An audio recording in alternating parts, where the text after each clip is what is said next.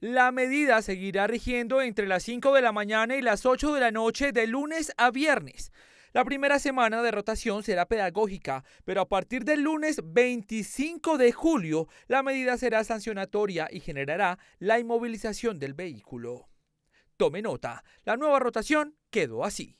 Lunes 6 y 3, martes 9 y 8, miércoles 4 y 5, jueves 7 y 1, viernes 2 y 0, tanto para vehículos particulares como para motos de 2 y 4 tiempos.